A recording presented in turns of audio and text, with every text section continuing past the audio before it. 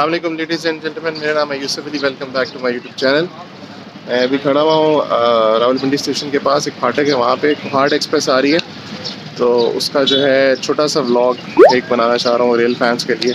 तो आपको उसका दिखाते हैं बींग अ रेल फ़ैन गुजरती हुई दिखाते हैं आपको. तो देखते हैं. आप देखिए इंजॉय कीजिए. ये फाटक है, जो कि इस्लामाबाद से आती है, रावलपिंडी से रोड, और ये सदर की तरफ़ जाती है. और ये ट्रैक है. और ट्रेन आ रही है आगे से। ये भाई हमारे खड़े हैं इधर, जो कि चंदी को पकड़े हुए। और ये देखें गाड़ी कैसे आ रही है।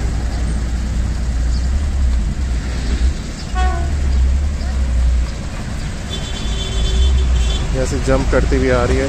एट थ्री वन थ्री एटाची लगा हुआ है।